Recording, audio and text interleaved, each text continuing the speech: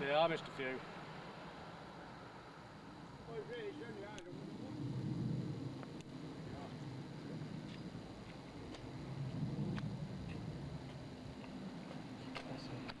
Yeah.